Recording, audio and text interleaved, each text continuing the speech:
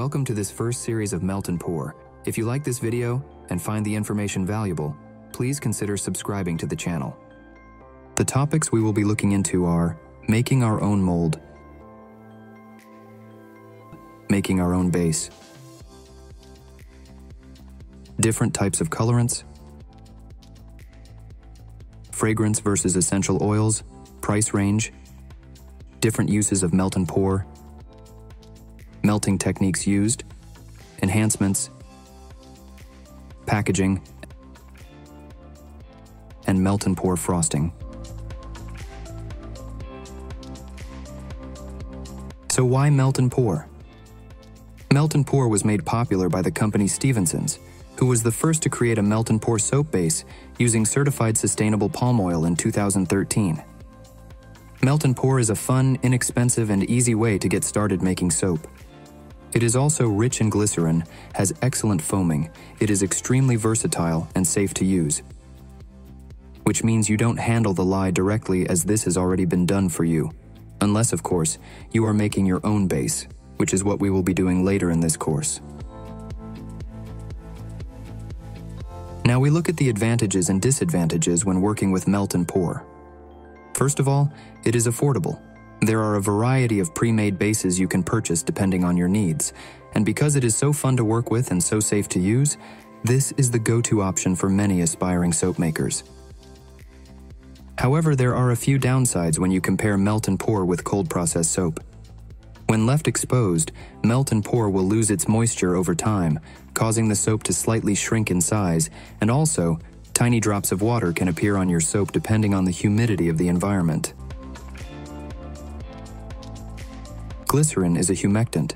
In soap bases, it is a natural byproduct of saponification, but sometimes can also be added as a moisturizing agent. Humectants attract or absorb moisture from the air. Glycerin in soap attracts the moisture from the air which then forms on the surface of the soaps. This is also known as sweating. The more humid the environment, the more likely the glycerin will attract moisture onto the surface of your soaps.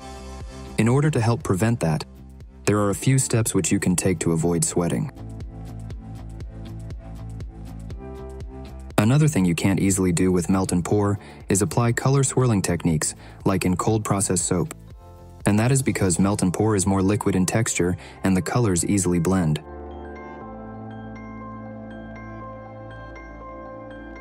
So let's get started by creating our own mold. When you start using melt and pour, you obviously need a mold to melt and pour soap into. The easiest and the most convenient way is to buy one, as there are hundreds if not thousands of molds available online. But in this course, we are going to learn how to make our own mold from nothing more than just an idea on paper. Start by imagining your soap bar and drawing out its dimensions using a ruler, a pen, and a blank A4 paper. This doesn't have to be final, just conceptual. For me, this is what I feel like a soap bar would feel great in my hand.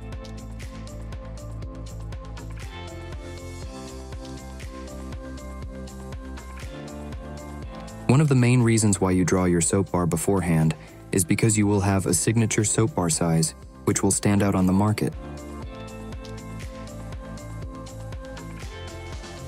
Now that we have our idea on paper, it is time to make the first concept of our soap bar to see how it would look and feel in our hands. There are three ways. The first is using wood boards. As these are available all around us, you can find them anywhere, from broken shelves, offcuts, or simply can just order them online brand new. However, be prepared to experience some difficulty as they are hard to handle. Another one is using foam boards. These are easy to handle and come in various thicknesses. A thickness I would recommend is anything above 2 centimeters. Please do make sure you also use a knife blade and that you are extra careful. The third way and the method which we will be using in this tutorial will be traditional building blocks. You can purchase these online and it will be enough for one project to get you started. Remember that this will become easier as you progress. Now, as I am building the mold, I keep testing the size and feel of the soap bar and realize that I am not entirely happy with the drawing, but because I have building blocks, it is easy to change the size.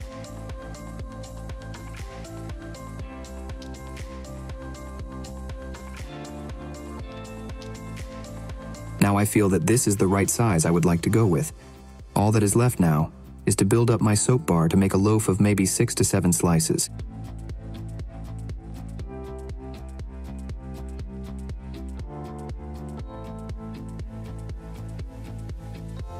And for me, this is just about the right length. Because we are using building blocks to build our mold, it is quite likely that silicone will leak through the holes. But to prevent this from happening, we will be using a transparent vinyl sheet of paper. It doesn't have to be transparent, it can be any color.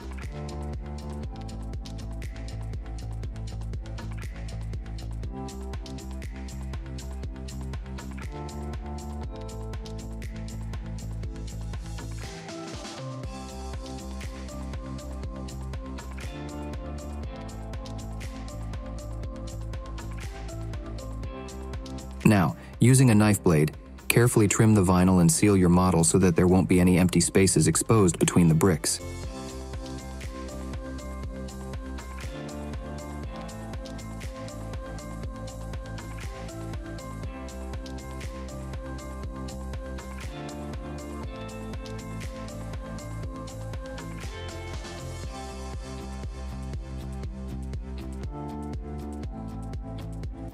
We have our model, it is time to make our casting chamber, and again, using building blocks and vinyl sheets to seal it.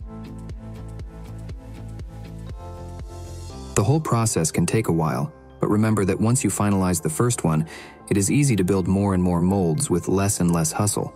With time, you will become cleaner and more productive. Making loaf molds from scratch is a business in itself. Sure, there are loaf molds available online, but it is way more attractive to make your own signature size, and I'm sure there are people who would prefer to buy fully customized loaf molds. Now that our model fits perfectly in here, with just enough clearance on the sides, it is time to move on to the sealing process. Vinyl is an excellent material for sealing the entire chamber from leaking. Not only that, but it is also easy to remove it, while protecting your building blocks after you've done your casting. This is a meticulous job, so having music on helps you stay focused. Now to make sure there won't be any leaks, I will put both the model and the casting chamber on top of an A3 adhesive paper, which will help keep it on the ground and prevent the silicone from getting under and lift it. If you don't have an A3 adhesive paper, you can use paper glue on the model, a glue gun, or Blu Tack on the sides of the casting chamber anything that will prevent the silicone getting under. I am wrapping the A3 adhesive paper on the model and slowly trimming the edges.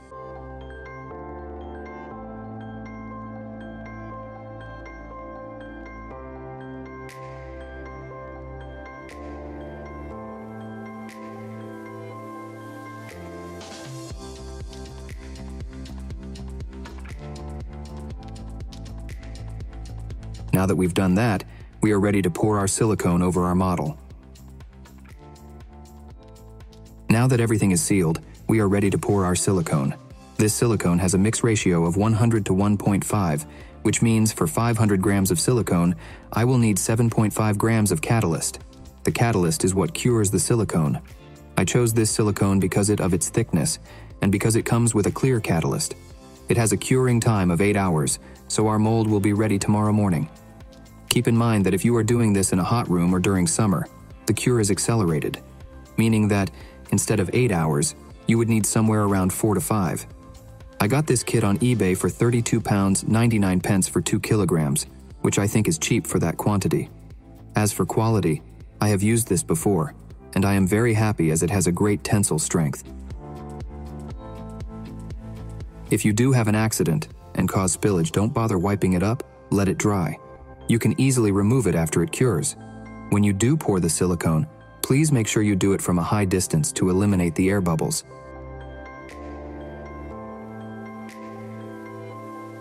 To find out the correct ratio of silicone you would need, you can fill up the casting chamber with rice, but as a matter of preference, I chose to mix another batch, just in case there are any leaks.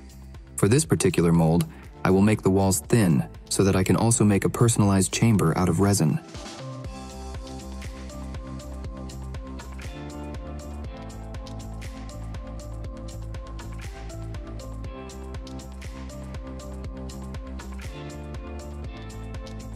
After five hours, our mold is ready.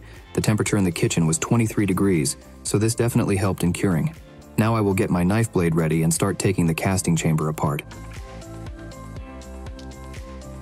I will start with the surrounding paper, and I will quickly speed this up because it took me around 20 minutes to finalize it.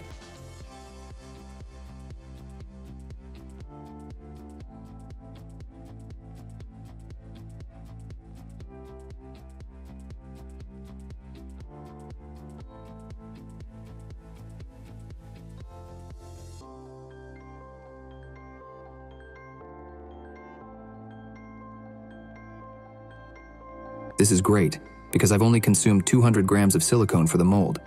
However, the walls are not thick enough, so the mold cannot support itself. Now we need to make a mold chamber to support our mold.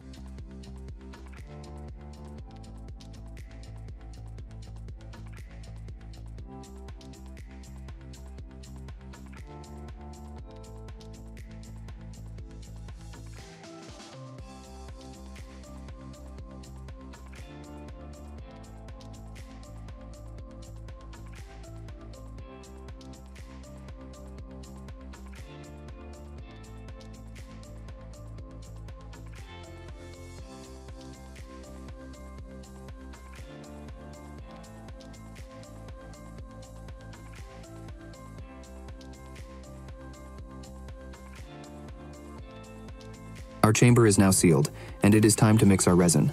The resin I will be using is purchased from Amazon. The price and quality looked very good. The mix ratio is easy, 2 to 1. For example, 100 grams part A to 50 grams part B. As for the color, you can use any mica or pigment you would like. For my chamber, I will choose black, and so I will be using activated charcoal. The curing time for this resin is around 12 hours, but we have to do it in batches because there is a rule that applies better wide and flat than high and narrow. And we will be doing high and narrow, so we have to do it in two batches. The resin will cause a chemical reaction after one hour, and heat will be released, and that's when the resin will partially harden, so please take extra care. After pouring the first batch, I will wait around three hours, and then pour the second batch, while gently eliminating air bubbles using our mixing spatula.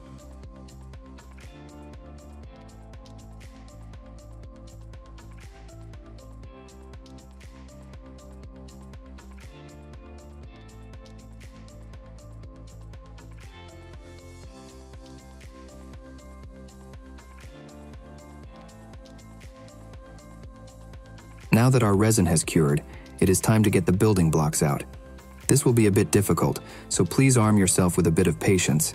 It would be wonderful if you have a scraper to help separate the hard resin from the building blocks, as it will make it far easier on your hands. Remember that you only have to do this the first time for this project. If you cast another chamber, it will be out of silicone, and the hard resin will come out in 20 seconds.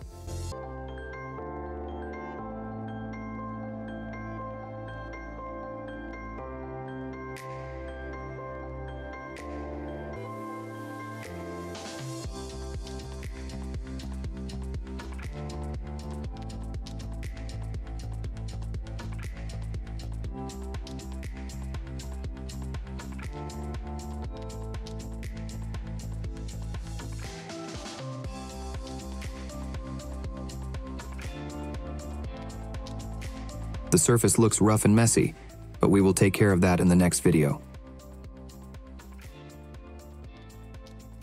Even if this is for our personal use, I would still like to give it a more stylish and pleasant feel.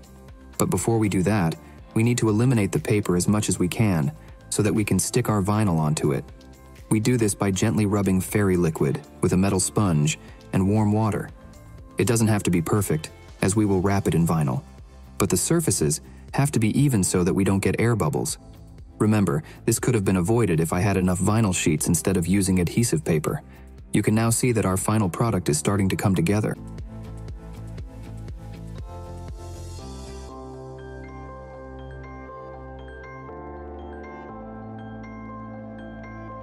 As a final step, we now need to take measurements in order for us to print the right size of the logo onto the vinyl sheets.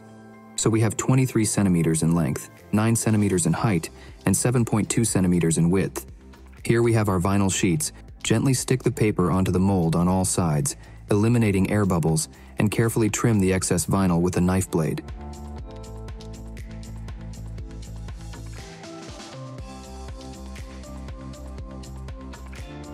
Once this is done, insert your silicone mold inside and there we have it, our own personal loaf mold fully customized and 100% handmade from scratch. If you got to this stage, congratulations. Now that we have made our mold, it is time to make our melt and pour. If you enjoy the course so far, please consider subscribing and giving the video a thumbs up so that more aspiring soap makers can watch too. We are going to take a pretty basic baking approach. We are going to separate our dry ingredients from our wet ingredients. We only need five main ingredients plus our lye mixture to bind them all together. Please wear gloves, a mask, and goggles. If you don't have goggles, make sure you are in a very well ventilated area. If you are doing this on your stove, turn the extraction on to max. So let's start with our ingredients. First, we need vegetable glycerin, monopropylene glycol, sodium C14, sodium hydroxide, lye, mystaric acid, and stearic acid.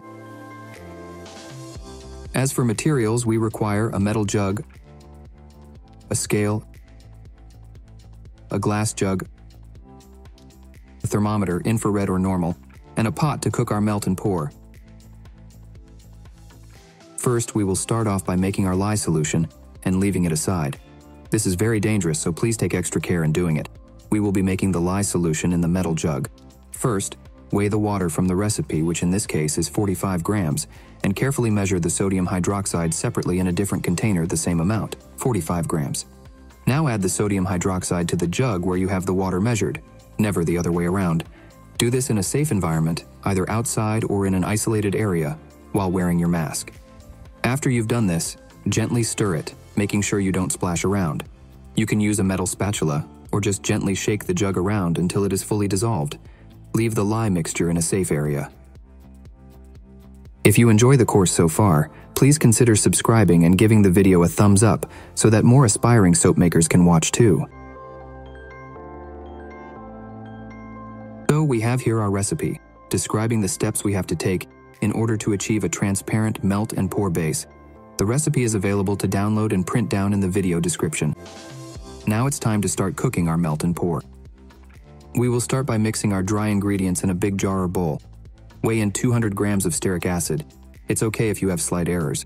Don't worry too much about it, as it won't make a significant difference in the end product. Reset the scale, and pour 90 grams of mystaric acid. Now do a gentle stir of both dry ingredients and leave them aside.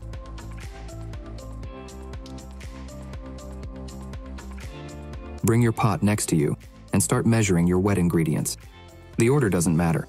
I will start with 450 grams of sodium C14.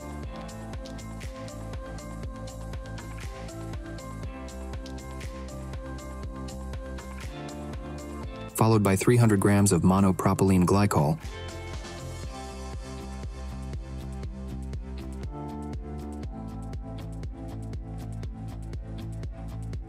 And 100 grams of vegetable glycerin. Mix all the liquids together and get your thermometer ready. Don't worry about the air bubbles. I am using an induction cooker, but a hob with flame will work best as heat can be controlled better.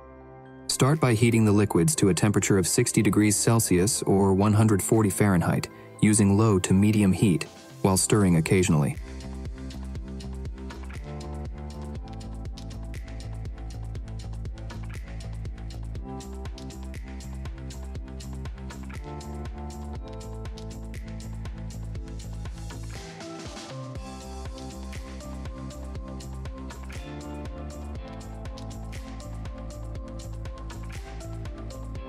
Once the mixture has reached an overall 60 degrees, pour in the dry ingredients and continue stirring.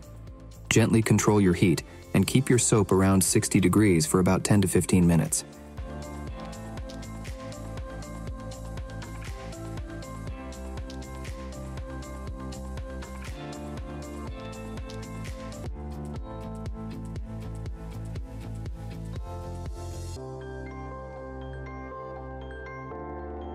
Thermometer acts funny sometimes, but it still does the job well.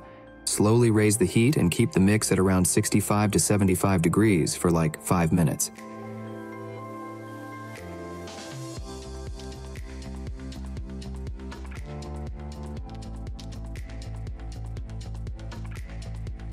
Gently pour the lye mix and slowly stir the mixture.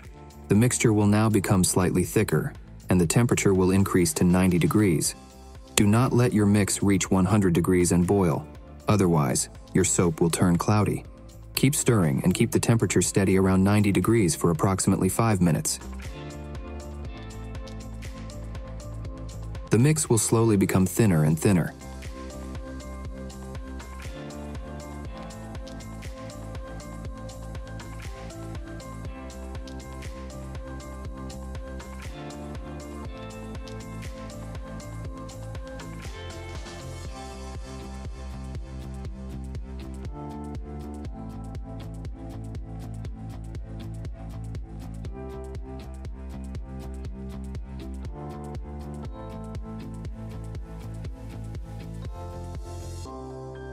Mix will turn into soap, so turn your heat off and leave it resting on the stove.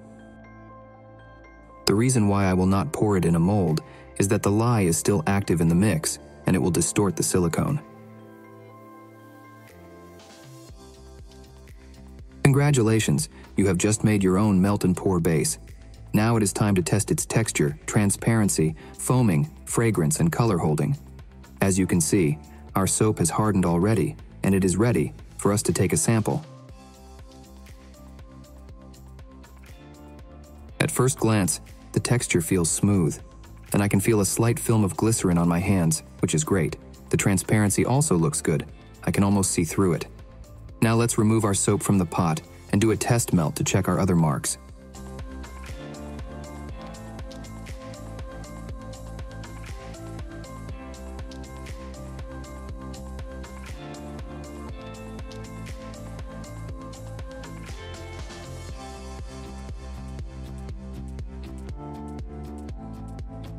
We can see the transparency is actually great, and I encounter an even resistance when I try to slice it, which is how it needs to be.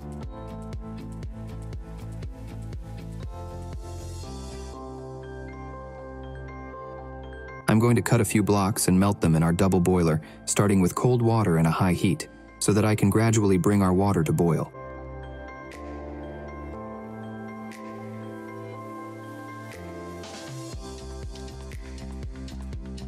Now I'm going to pour a clean, transparent layer in which I have added a tiny amount of lemon essential oil. This should cloud the soap a little. We will leave that layer to cool down whilst we begin to melt another layer. Now that our second layer is ready, I would normally use alcohol to bind the layers together, but in this case, I would like to see how well our hot soap binds to the cold layer without the alcohol. As for the color, I will use a light blue.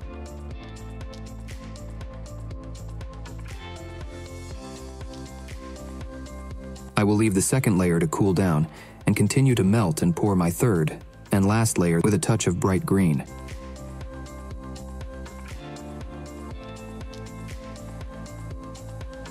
Our soap is finally ready for our last test.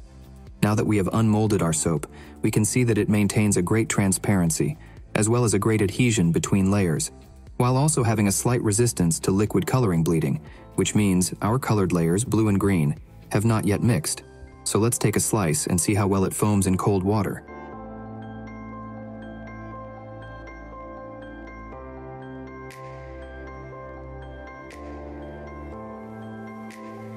If it foams well in cold water, it means it will foam really well in warm water.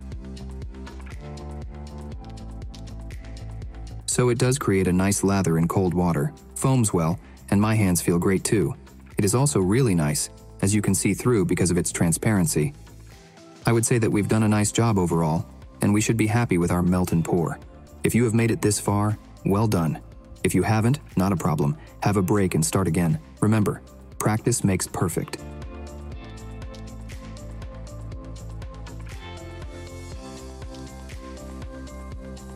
If you enjoy the course so far, please consider subscribing and giving the video a thumbs up so that more aspiring soap makers can watch too.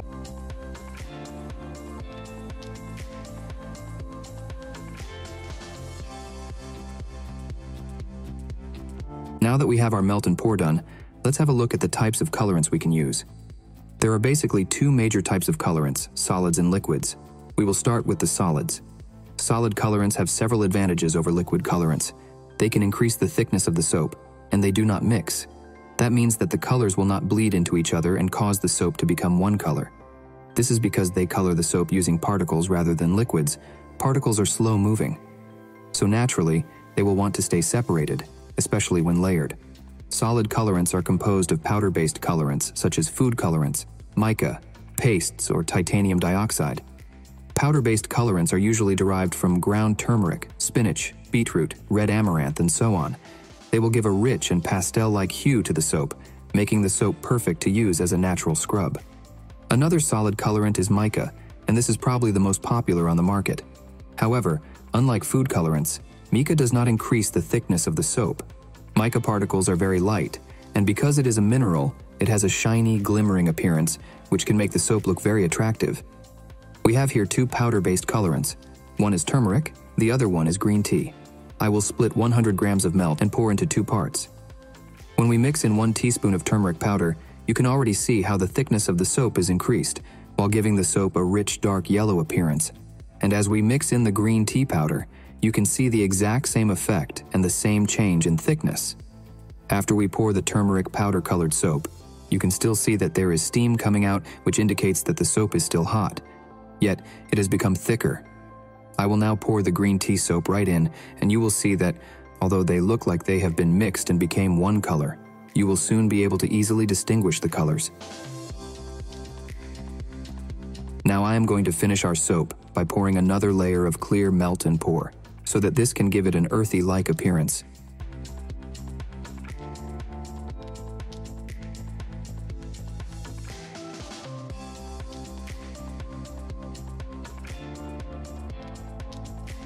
You can now see that although colors were poured in together, they have not mixed, and there is no sign of bleeding on the clear layer. Powder-based colorants are an excellent choice if you are making natural soap bars as your main selling point, as these natural colorants have a great range of benefits for our skin.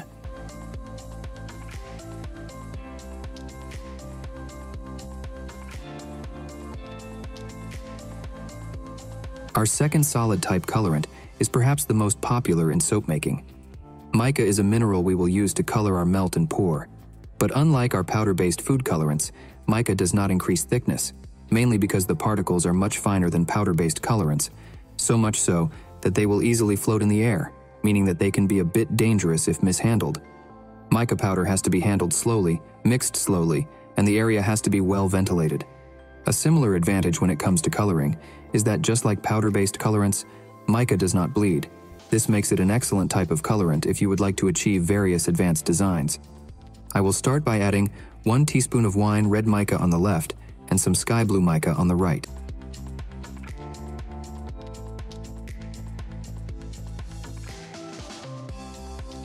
I am going to mix the wine red mica with the clear soap and start by pouring the first layer.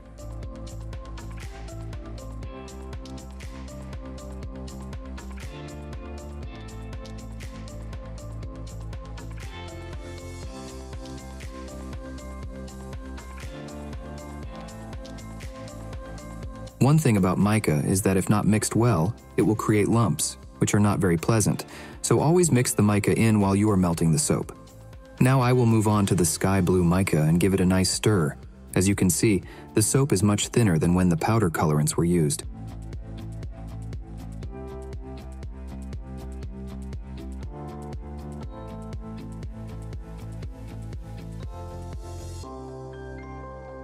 As I pour my second layer into the first layer, you can immediately see how a separation starts happening, and the two layers attempt to separate from each other. However, I will add a third layer of clear soap, which will cause a further separation of the two colors.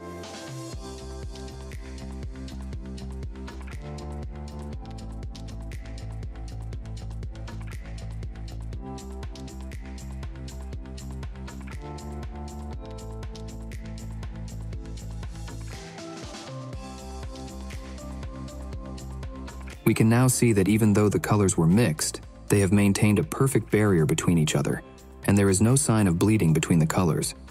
Mica-based colorants are an excellent choice if you are looking to achieve advanced, eye-catching designs. Looks are the main point of sale for a soap that is made with mica, due to its glittery, shiny, and bright appearance. If you enjoy the course so far, please consider subscribing and giving the video a thumbs up so that more aspiring soap makers can watch too. The second major type of colorants for melt and pour are composed of liquids. Liquid colorants spread into of two types, liquid dyes and glycerin based. The first type we are going to look at will be liquid dyes. Liquid dyes are probably the most affordable type of colorants you can get for your melt and pour. They provide that lovely transparency and see-through effect. This is the type of colorant we use to test our melt and pours transparency. Liquid dyes have one downside though. Since the colors are water-based, they will easily blend. So even if you are layering the colors, they will ultimately bleed into each other. I would like to make a green, so we'll choose yellow and blue for our soap. You can easily control the amount you are going to use. Liquid dyes immediately color the soap with just a few drops, and they mix very easily.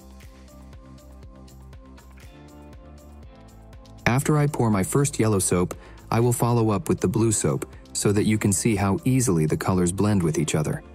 If we now have a look, the soap has immediately turned into a gradient green, and it will continue to turn even more over time, regardless whether we layer it or not. Liquid dyes are the best choice for single-colored soaps, especially if you are using floral enhancements, as the ingredients can be seen through in an attractive hue.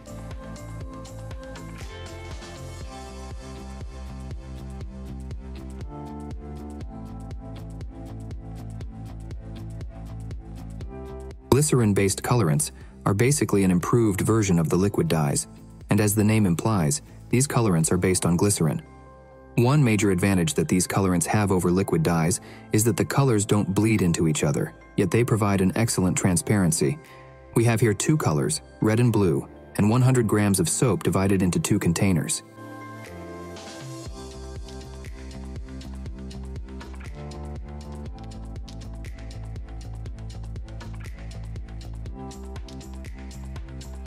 If we were to use red and blue liquid dyes, we would get a violet towards purple. As you can see, unlike the liquid dyes, the glycerin colors won't disperse, remaining still at the bottom until mixed. Glycerin colors are stronger than liquid dyes and require a longer mix as they have a thicker texture. As you can see, when we pour the two together and attempt to mix them, we won't get a violet or a purple. The colors will stay separated. Even though they were poured in together at a high temperature, there is no sign of color bleeding. Glycerin-based colorants are excellent for layering various colors while also maintaining transparency, and this is a strong point of sale for those who would like to achieve different eye-catching bespoke designs.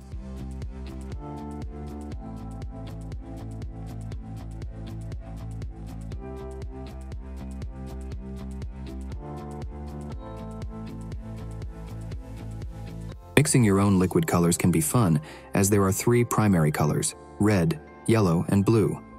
Everything else is derived from these three, with the exception of black and white, which can brighten and darken and help achieve different hues. However, when it comes to solid colorants, mica in particular, manufacturers literally have dozens of color varieties, such as emerald green, metallic green, grass green, and so on. It really helps knowing how your coloring would affect your end product, as different bases of melt and pour react differently to colors. Transparent bases generate very strong colors with little amount needed, while opaque bases usually requires a larger amount to obtain stronger shades. There are two ways you can simplify a large collection of mica, and that is by making your own colored blocks and oils. This also helps you stay safe from inhaling or mishandling the mica powder.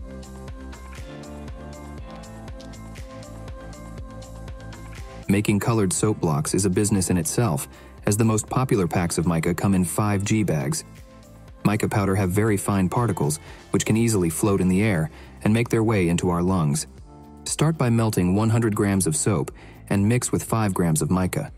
This will help us work safer with mica and discover the shade of color we are working with.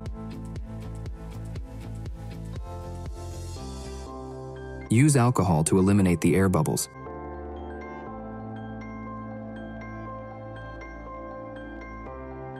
After your colored block is hardened, start slicing it into tinier blocks. It doesn't have to be even, but a 10 grams tiny block of mica will evenly color 1 kilogram of melt and pour. Continue slicing our 10 grams block of mica into even tinier pieces and throw them in a hot melt and pour while continuing to stir evenly until fully dissolved.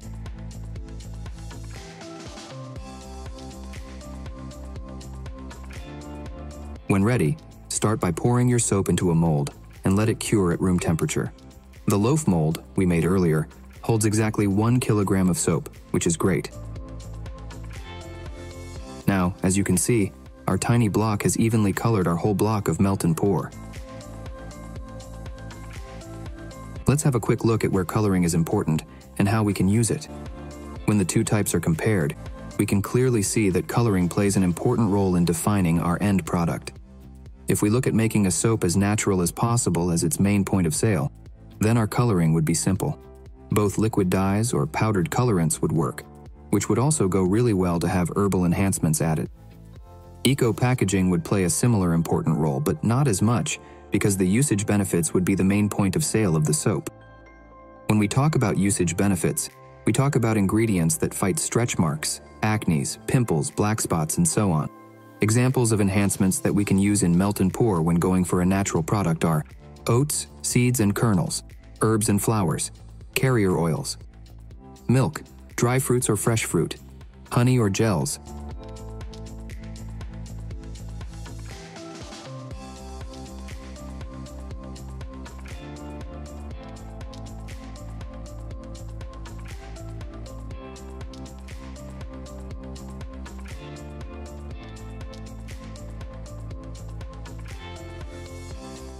Packaging plays a very important role here. Can literally make or break a product. There are three popular ways you can wrap your soap paper, plastic, and card. They all have various advantages and disadvantages. When you make beautifully layered soaps, you want people to see them, so the best choice would be to use shrink wrap. This type of packaging keeps your cost low while also allowing you to see through the packaging. On the other hand, we have paper wrap. Paper is easy to spoil though, but it gives that luxury feeling which heavily improves your product's image. Paper wrap is excellent for soaps that don't focus on looks, but have a lot of skin benefits. To protect the paper from soap sweating effect, you need to have another layer of paper wrapped around your soap. Double wrapping your soap can be time consuming, but it will help protect your outer packaging design while they stay on shelves. Another way of wrapping your soap is using cardstock. This is very popular with cold process soaps, as it offers a bit of both worlds. However, when used on melt and pour, it attracts moisture, causing the card to spoil and become soft. One way to avoid this is by making sure the card doesn't stay wrapped around your soap for too long. Wrapping your soap and card is very fast, and it has a low cost, making it an excellent choice to wrap your soaps by order. If you enjoy the course so far, please consider subscribing and giving the video a thumbs up so that more aspiring soap makers can watch too. Besides soap bars, melt and pour can also be used to make frosting and bath bomb decorations. Frosting is difficult to master at first, but it gets easy once you have done it a few times. You know the old say, practice makes perfect. In order to create frosting, you need to force air into the soap. If you have ever done icing, it is a similar process. To do soap frosting, you first need a hand blender. Start by adding 50 grams of foaming bath butter, 25 grams of unrefined coconut oil, and 20 grams of white melt and pour. Put all the ingredients together in a bowl and slowly start melting them using a double boiling method at a low heat. Try not to let the ingredients melt completely. Take them off the heat and start blending the small chunks once you have some liquid to work it.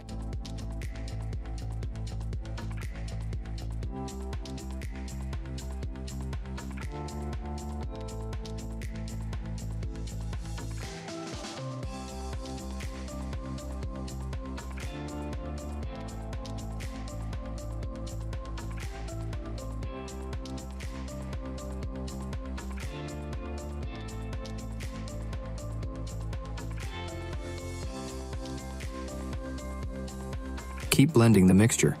You will soon discover that as you keep doing it, it will start becoming thicker and thicker. At this stage, if you would like to modify the consistency, you can continue to add more coconut oil and bath butter to make it more liquid. However, I will keep my consistency at this level. Nothing mandatory, just preference. Once the frosting is done, you can see the consistency is similar to a cream. Now we can grab a piping bag and add the frosting in.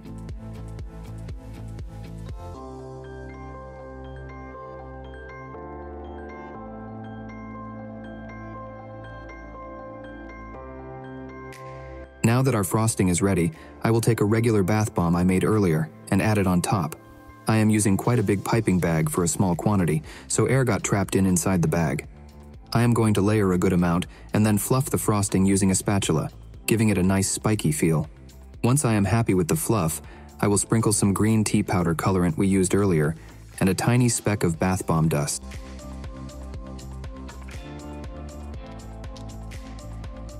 Now I am going to take a small block of purple soap and melt it. Once that is done, I will slowly pour it on the top, giving our bath bomb a nice overflow effect. We will now let the frosting to harden at room temperature. If you want faster results, you can put it in the fridge or someplace where a cooler temperature is present.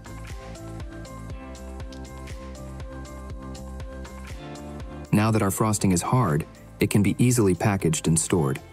Besides frosting, melt and pour can also be used on its own to decorate bath bombs. I have here some leftover purple soap from earlier, and I would like to give this bath bomb a nice jewelry looking effect. To do so, I will pour the soap in a different container, dip the bath bomb in, and then immediately dip it in our dead sea salt, after which I will pour the rest of the soap over the top.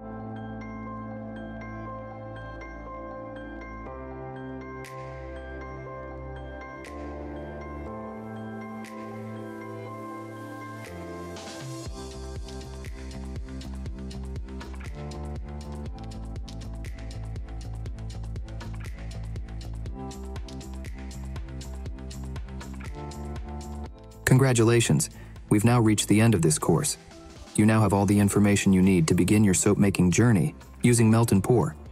We've touched some pretty important points from coloring to packaging to different ways we can use our Melt and Pour, and went all the way from an idea on paper to our very own first soap bar. If you enjoyed this course, please consider subscribing to this channel and stay up to date with new recipes and more courses. Thank you for watching, and see you soon.